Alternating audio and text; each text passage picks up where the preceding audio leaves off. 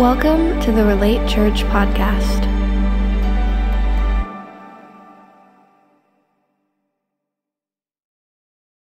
Shockingly, I'm going to ask you to turn to Matthew chapter 5.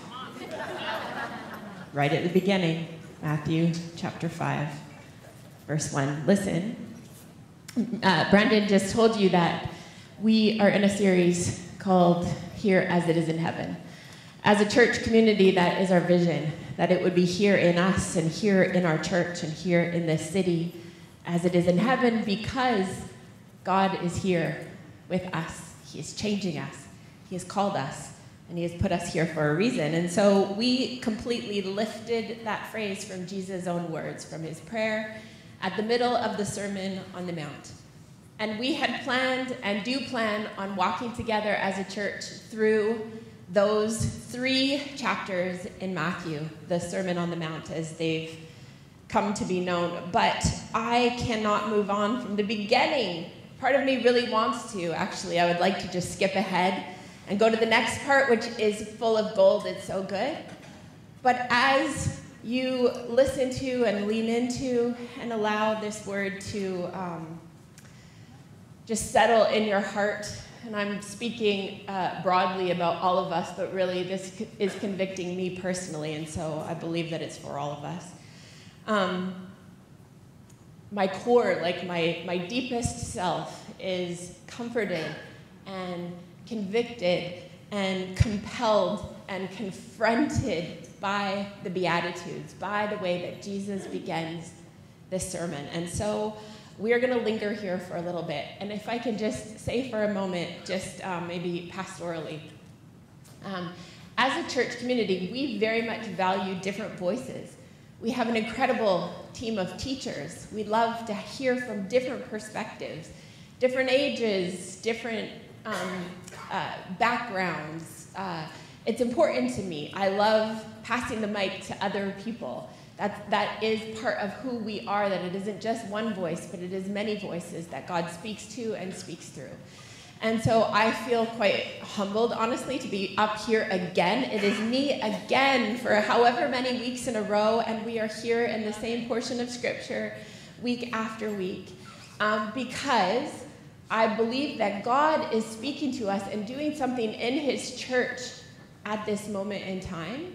And he is doing something right here in us, Relate Church, at this moment. And so it is valuable to me. It's important that we just kind of pause and linger here. And so I will share as I believe God is asking me to. Um, not out of a great confidence that this is going to be the best message you've ever heard come out of my mouth. But as I said last week, Marv was teasing me because on Instagram I had put, you know, as a lead up to Sunday, um, it is the greatest message ever preached. Not from me, but it's Jesus' greatest message ever preached. And so, how dare we just motor through? Instead, we are going to slow our roll and allow this to change our hearts. If you're up for it. If you've got the guts, as my nephew Jack said when he was younger. Oswald Chambers refers to these statements of Jesus here in the Beatitudes. We're going to get to them in a moment. He talks about how they are lovely and poetic with the impact of spiritual torpedoes, and that feels accurate to me today. So let me read Matthew chapter 5, verse 1. Now, when Jesus saw the crowds, he went up on a mountainside and sat down. His disciples came to him, and he began to teach them. And he said, Blessed are the poor in spirit, for theirs is the kingdom of heaven. Blessed are those who mourn, for they will be comforted. Blessed are the meek, for they will inherit the earth. Blessed are those who hunger and thirst for righteousness, for they will be filled. Blessed are the merciful, for they will be shown mercy. Blessed are the pure in heart, for they will see God. Blessed are the peacemakers, for they will be called children of God. Blessed are those who are persecuted because of righteousness, for theirs is the kingdom of heaven. Blessed are you when people insult you, persecute you, and falsely say all kinds of evil against you because of me. Rejoice and be glad, because great is your reward in heaven. For in the same way they persecuted the prophets who were before you. Lord, I pray once again, Holy Spirit, that by your presence right here with us, by your leadership in our lives, God, by the miraculous power that is available to us because of Jesus, that you would remove scales from eyes so that we would see you clearly. Lord, would you open ears, deaf ears, to hear the good news, this good news that you pronounced and proclaimed. And that was good news then, and it is such good news for us here today. God, we invite you to convict us, to comfort us, God, to compel us, to draw us nearer in the way that only you can. Have your way here, I ask. Amen. Just a bit of review. We have been here for a few weeks, but I want to remind us all as we look at, I want to kind of zero in for a few moments together on the very first blessing that Jesus pronounces here. Jesus begins by blessing, by blessing these different groups of people, by really congratulating or pointing out the blessing that is theirs because he has come, the kingdom of God has come along with Jesus. And as he is speaking here, last week, we talked about how he's essentially giving a tour of the kingdom. He is showing those followers who have come along with him on this mountainside what it looks like when the kingdom of God comes near and how it is displayed in the lives of those who live in his orbit. So imagine that as he is speaking, he's giving a bit of a tour or he's painting a picture of what the kingdom of God looks like. And he is explaining this because the kingdom of God has come as he has come to earth. We know that the kingdom of God has come and the kingdom of God is, is yet coming. But here in this new dimension, as Jesus is introducing it, there is a new language. Blessing is the language of God's kingdom. There is a new culture that he is explaining. He's helping his followers to understand what it looks like in the heavenly realm where he is which has now overlapped, which is part of the earthly realm where he is living, where he is in relationship with others, where he is communicating. He's explaining how it looks.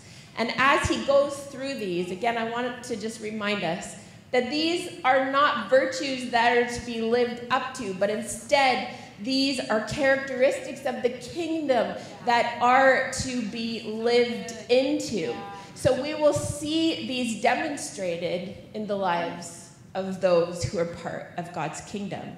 These ways of living and being, they don't offer salvation. We can get it confused, and I think it is often. And again, just go back and listen or, or, or listen to many different teachings. The Bible Project is walking through this Sermon on the Mount this year. There's lots of incredible information out there, but these, these are not the ways to get to God. This is not how you are saved by being poor in spirit, by being meek. Instead, these are um, what we see in the lives of those who live in this new kingdom that Jesus is introducing. And that matters because it means that we, as Christ followers, we cannot expect those who don't live with Jesus, follow Jesus, who are not in Jesus' orbit to display these characteristics. The world is full of beautiful, incredible, wonderful, servant hearted people because God has made us all so creatively and wonderfully. But these are not like a moral code that we impose on others, so we get it and you do not. Because unless Jesus is changing and developing and molding your heart, us included. We cannot live these out. It's impossible. It, it will not happen. We can try. We may strive. We may feel guilt and shame when we don't measure up. Or, and this is probably more likely, we will be completely repelled, if we're honest, by this list. Because outside of God's kingdom, these aren't beautiful. It doesn't look like a beautiful life. Nobody thinks, yes, I would like some of that. It is only beautiful in light of the one who is beautiful, who shows us beauty. And when we first read them, and not just first, you can read them as I have hundreds of times in my life. When we first kind of look at them, they seem to illustrate an upside down life. This is nothing like the culture that we live in.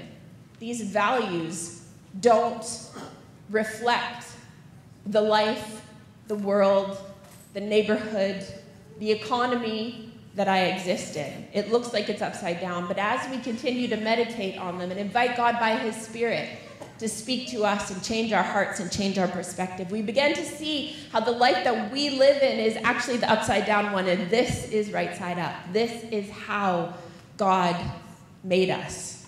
This is what truly matters. And the way that Jesus begins here, and this is why we're going to just pause today to look at this first blessing or this first beatitude. The way that he begins is really important because it set it not only sets the stage, but it is the entrance into all the rest of the beatitudes. Jesus begins, and this is shocking and life altering if we allow it to be, by saying, "Blessed are the poor in spirit, for theirs is the kingdom of heaven." Eugene Peterson said it this way You're blessed when you're at the end of your rope. With less of you, there is more of God and His rule. There is a blessing, guys, at the end of yourself. Even as I say those words, I know that for some of you that hits as a blessing because you're there today at the end of yourself. And you receive that blessing of Jesus. And for others, or maybe you feel both things at the same time, that's very possible. To hear that the blessing that Jesus is pronouncing is when we come to the end of ourselves or feel like we're at the end of our ropes, that isn't um, enticing because we want nothing to do with that. We would prefer to have control and a plan and know that we can make things happen in our own strength. I don't know if you have heard of um, the art of Swedish death cleaning. Anyone? Is this a familiar term? Swedish death cleaning. I know it sounds morbid, and it is inherently because it's in the title. So forgive me, but I think this is valuable. Um, there was a book that was written in recent years that is called The Gentle Arts of Swedish Death Cleaning. And what it basically is, is a way when you come to the end of your life, or maybe you're thinking about the end of your life. Sometimes it is prompted by losing somebody else and, and watching, and if, if you've ever experienced a death in your close family, you know what this feels like. When somebody is suddenly gone, but all that belongs to them remains. Then there's the painful work of sorting through that and taking care of just the earthly things that are left over. And so there is this method um, that apparently the Swedish own. I don't know, of course it's the Swedes.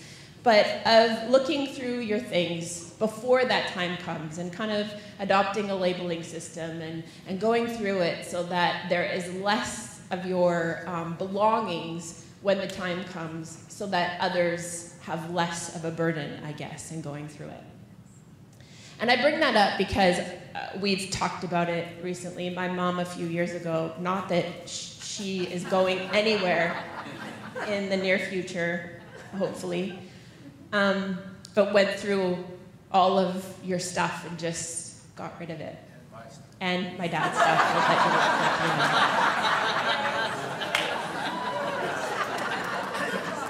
they would yes, I could go off on that for a bit.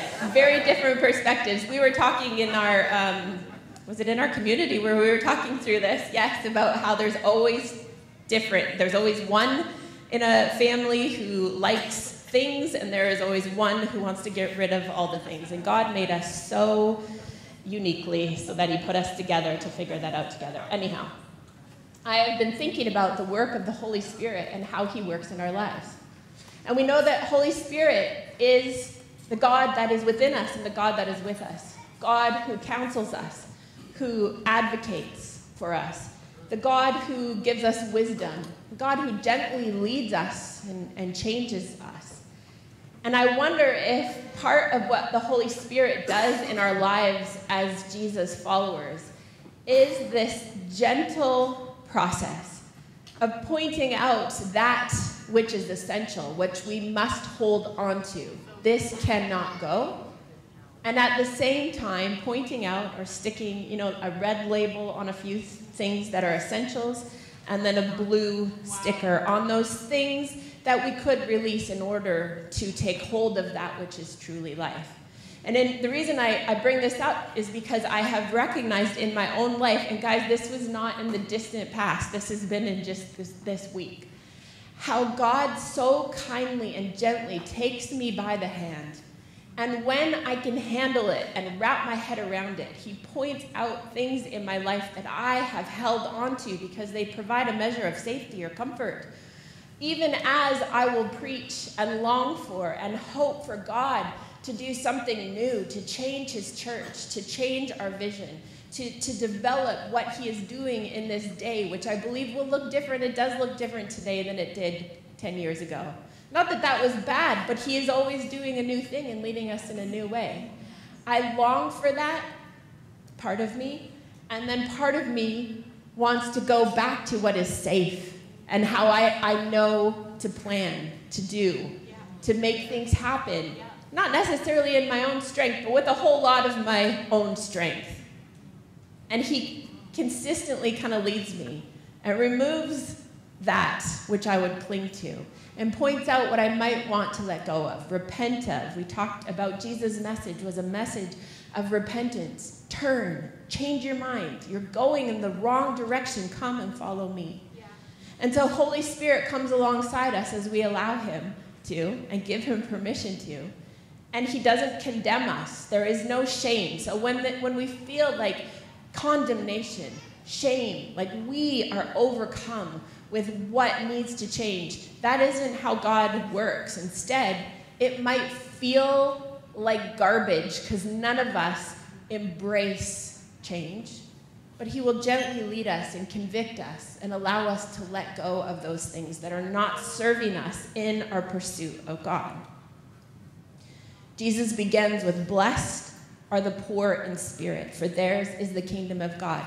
That poor in spirit, being a picture of open hands, empty hands, being needy, needful of God's spirit.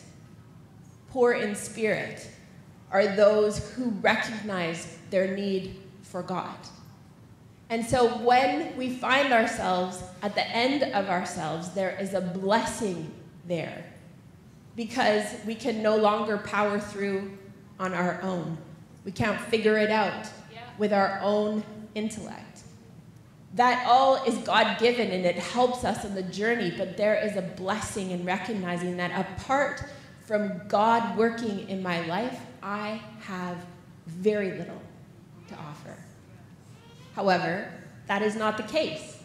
He is in my life, He is working, He is changing me, and He is changing us. And so, this is good news, a message of hope.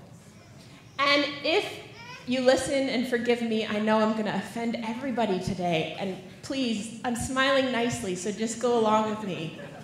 Um, if you feel a, a desire uh, to like skip past this and not talk about it, or maybe just zone out for a moment until we get to like more hopeful stuff, I want to tell you that I do too. I feel that too. Me too. Um, part of me doesn't even want to teach this because I know that in teaching it, I cannot teach it unless I live it and embrace it for myself. And so there's always part of us that wants to resist that. However, if there is part of you that, that yearns for, that leans into, that wants what you cannot produce yourself, if there is even a tiny bit of hunger or thirst in you for the things of God, if you are compelled to lean in toward Him, that is the work of His Spirit working in us. It is God's Spirit that draws us to Jesus, and this is good news. So, my prayer is that all of us collectively would see the beauty that is here, would, would be compelled by who Jesus is, would have a fresh revelation of how good and magnificent and transcendent and beautiful he is, and see that the life he offers us here, it is, it is truly life. This is the good life. Chuck Swindoll, um, speaking on the Sermon on the Mount, he wrote this Most sermons are more negative than positive, more like scathing rebukes than affirmation. Not this one. With beautiful simplicity, using terms any age could understand, Jesus brought blessing rather than condemnation. Having endured a lifetime of verbal assaults by the scribes and the Pharisees, the multitude on the mount must have thought they had died and gone to heaven.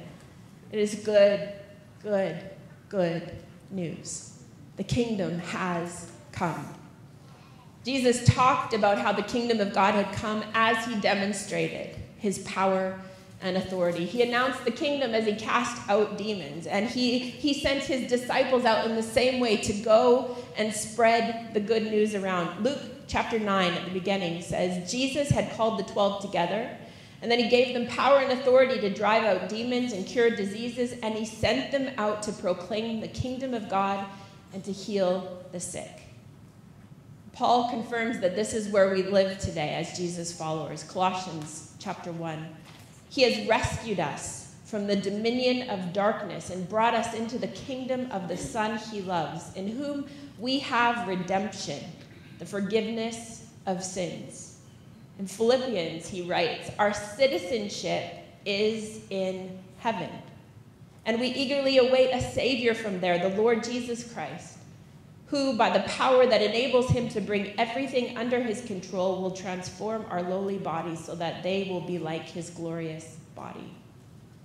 God's kingdom has come and it is yet to come. And this first blessing, blessing the poor in spirit, it comes first and it precedes the rest because it is a necessity, as I said. It's fundamental. There is no one who experiences God's kingdom who isn't aware of their need for God or their poverty in spirit. Those of you who are here today, I am confident, unless you were raised in church and you have come along and been taught over many years, you didn't find yourself crying out to God or in church because you were winning at life. How many of you would say that, yes, when I had finally figured everything out, and I was, everything was good. My relationships were awesome. I was making enough money. I had dreams and visions. Life was amazing. The Canadian dream, I decided, you know what? Let's go to church. Let's try that too. Anyone? Maybe, but I doubt, I doubt that's very common. We know that what happens so often, this is how God works, is that when we come to the end of our rope, we come to the end of ourselves. When we find that the answers that once worked for us no longer give hope, that they are empty. When the promises of the culture around us suddenly prove to be full of lies. When we are looking for a hope outside of what we have been sold, we tend to look heavenward. We call out to God, and He meets us in that place. That is the best part. It brings us so much joy over and over again to see how God meets with people who are desperate, hungry yeah. for Him. To celebrate the baptisms last week of lives that have been transformed by Jesus. It is the work that God does in the lives of His people. He does this, He brings a blessing in that place of need. And this is how he works. There must always be an emptying before there is a filling. In order to pour out new wine, the old wine must be emptied from the wineskin. There is always a conviction before there is a conversion. There's always a recognition of my need before I look for it to be filled. This is why, especially in the Canadian church, I believe, there has been a long season of people not being particularly interested because life is okay. It's okay. It's not great, but it's okay. Our needs are mostly met until they're not. Until they're not. Until we come to that end. But God does this, and He does it in the lives of His people over and over again. Isaiah 57. This is what the high and exalted one says He who lives forever, whose name is holy. I live in a high and holy place, but also with the one who is contrite and lowly in spirit, to revive the spirit of the lowly and to revive the heart of the contrite. Again, in the message, I don't have this on the screens, this has just been preaching to me. A message from the high and towering God who lives in eternity, whose name is holy. Yeah, I don't. I live in the high and holy places, but also with the low spirited, the spirit crushed. And what I do is put new spirit in them, get them up and on their feet again. As you look through scripture, we see over and over again God at work in the lives of those who are poor in spirit. We'll often say, God is so amazing and how he always chooses the ones that we would not choose to do the work that he needs to be done over and over again. We think of somebody like Moses. Exodus chapter 3, as Moses encounters God in the burning bush, he says, Who am I that I should go to Pharaoh? David writes in Psalm 8 When I consider your heavens, the work of your fingers, the moon and the stars, which you have set in place, what is mankind, all of us, that you are mindful of them? Human beings, that you care for them. Isaiah has a vision of God in all his glory, and this is how he responds. He says, Woe to me! I am ruined for I am a man of unclean lips, and I live among a people of unclean lips, and my eyes have seen the King, the Lord Almighty. I think of Gideon, who is overwhelmed. Many people throughout Scripture. And in case you might think, well, that is just the, the personalities who were kind of small, meek, mild. I will remind you that there is also Peter, the man who was aggressive. He had an anger problem. He, he had a confidence. He didn't hold back. He was, uh, you could, some might label him as like cocky. He was impulsive. Um, but when he truly sees Jesus, uh, Jesus had helped him and the others catch a miraculous um, catch a fish and here is what Simon Peter says He falls at Jesus' knees and he says, Go away from me, Lord. I am a sinful man. Or Paul, who many people have an issue with Paul because he too, he's, he's, he's confident he has to be careful not to brag, even as it seems like he's kind of bragging in, in some scriptures. But he's intentional to not boast because he, he knows that he has a pedigree, that he has intellect, that he has an ability. And yet, he writes that he comes in weakness with great fear and trembling. And it's not a demonstration of their insecurity, but instead, it is the only right response when you see God, when you encounter the presence of God. Jesus told a story in Luke 18, and I'm just going to read this out of the voice because it's fun that way. Jesus says this Imagine two men walking up a road, going to the temple to pray. One of them is a Pharisee, and the other is a despised tax collector.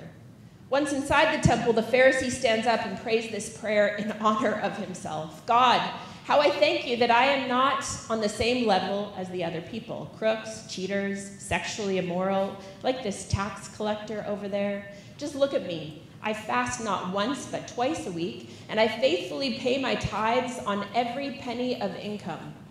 Over in the counter, over in the corner, not in the counter, the tax collector begins to pray, but he won't lift his eyes to heaven. He pounds on his chest in sorrow and says, God, be merciful to me, a sinner. Now imagine these two men walking back down the road to their homes. This is still Jesus speaking. Jesus says, Listen, it's the tax collector who walks home clean before God, and not the Pharisee, because whoever lifts himself up will be put down, and whoever takes a humble place will be lifted up. And the point isn't that we hide in a corner and pound our chest in sorrow.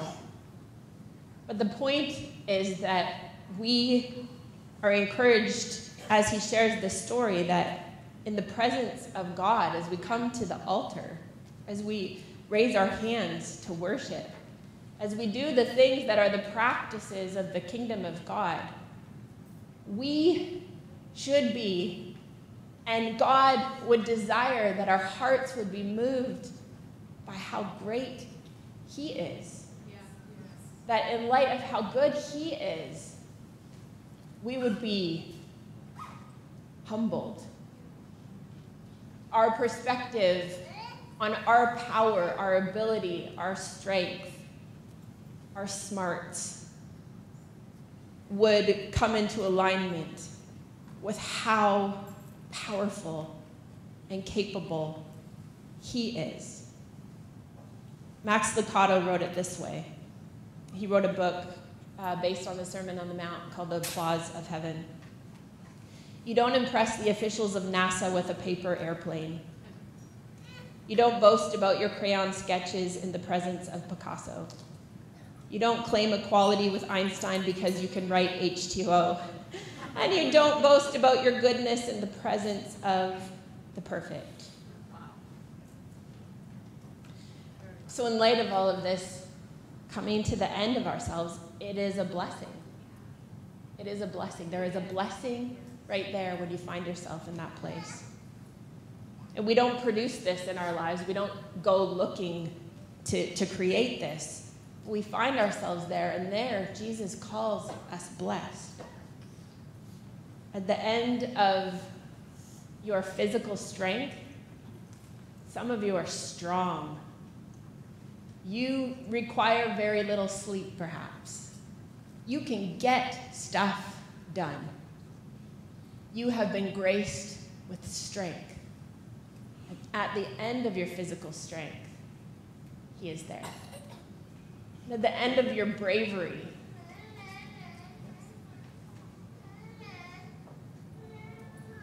at the end of your efforts, He is there.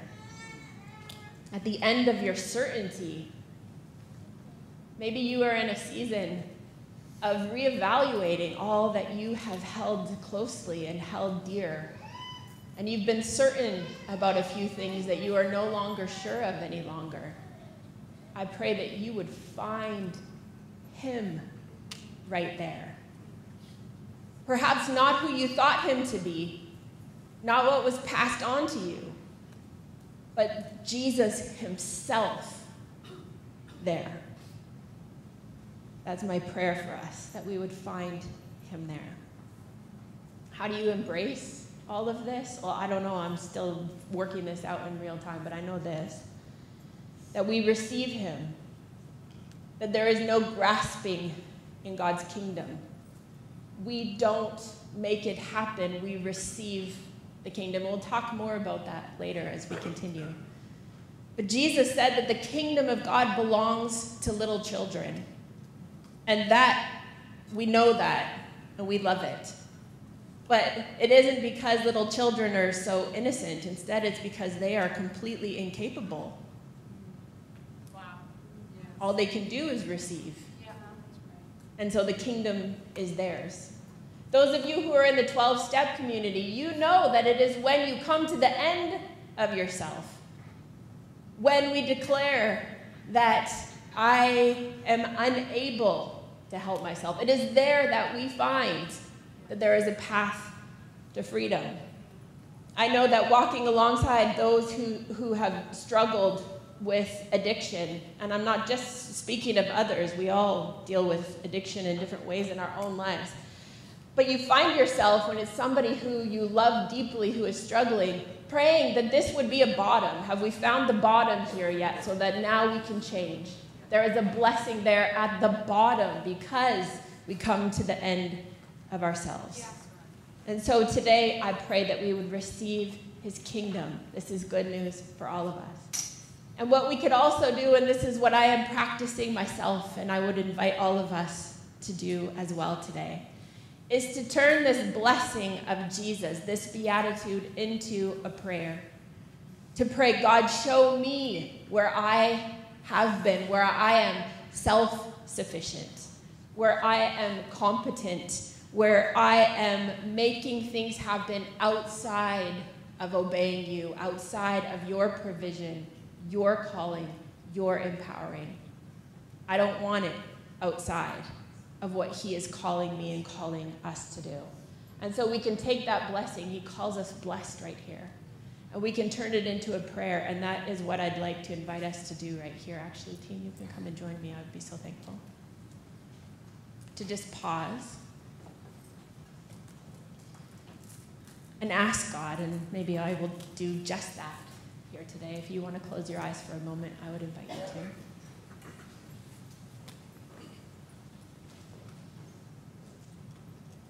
And God, in this moment of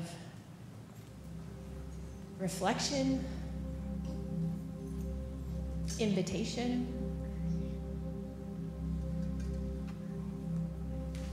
we receive the blessing that you've pronounced. We receive your blessing today, Lord. You call us blessed. Thank you. And so, Lord, I ask, would you show each one of us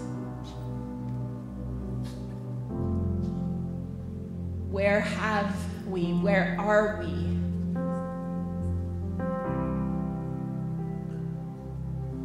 Powering through, grasping, clinging, you would invite us to let go, to trust,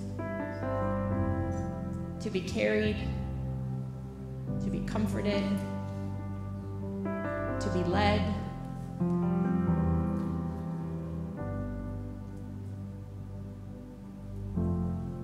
God, would you show us your strength where we are truly weak? God, would you show us your beauty? Show us your beauty. We repent where we've been distracted, striving, anxious, overwhelmed. God, where we've been stressing and ruminating. God, we, we repent, we turn, and we set our eyes on you instead.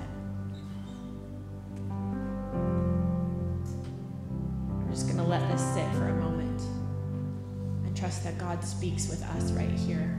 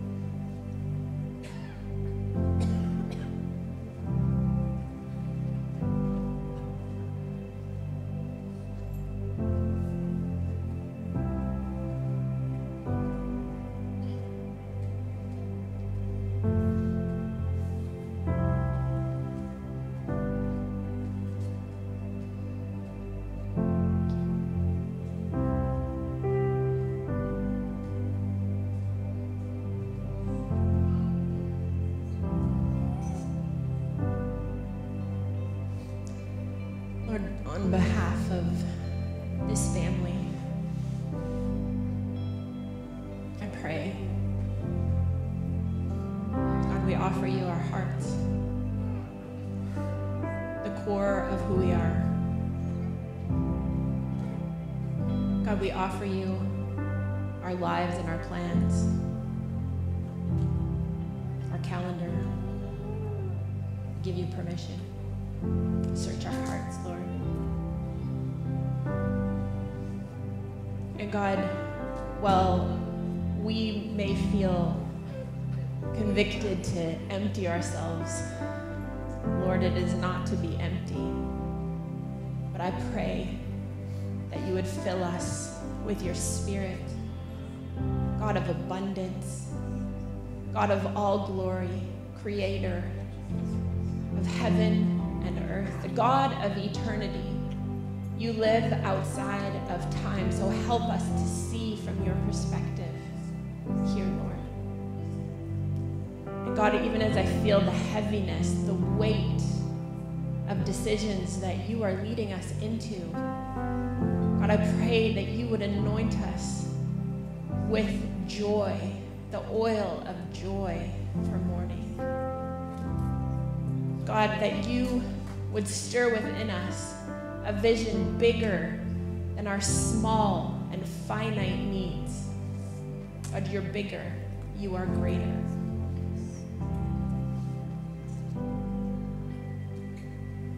God, I pray would be close to the brokenhearted. Lord, I pray for those who are hard hearted today, where we've walled ourselves off to protect that which is vulnerable. God, I pray that you would come close. You promised to give your people a soft heart. So we surrender to your care,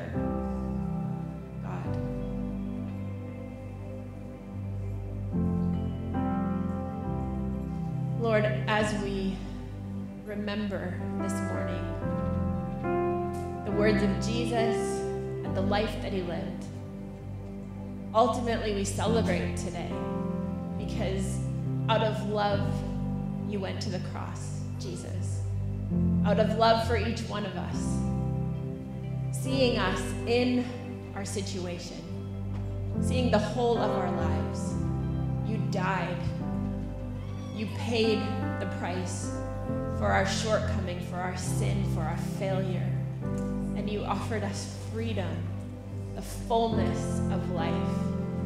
And so we receive today the healing and shalom that comes from you. It doesn't exist outside of you. But here, God, we find it in you. As we receive communion this morning and we take that bread, Lord, we thank you for your body broken for us. And we drink that juice and we thank you for your blood poured out for us, forgiving us, washing us, cleansing us, giving us a future, a hope. God, as we go to the cross today, we find forgiveness in you. And God, I pray that you would strengthen us to forgive those who have trespassed against us. We can't do it outside of your strength, God. We are inept, incapable. But you empower your people with strength. God, would you strengthen us today? That supernatural power. And God, again on a Sunday morning, I thank you for your blessing in our lives. It's ours. And God, may we walk in a way where we become a blessing, where we bless and not curse. God, where we demonstrate what love looks like because you've loved us so well. We receive that today. We thank you. We're so grateful. Come, Holy Spirit, I ask. Amen. Thanks for listening to this week's message. If something stood out to you, if you'd like to submit a prayer request, or if you'd like to learn more about how you can get connected, email relate at relatechurch.ca. If you'd like to partner with us and our community initiatives, please visit relatechurch.ca/give. It's been an honor to spend this time with you. Catch you next week.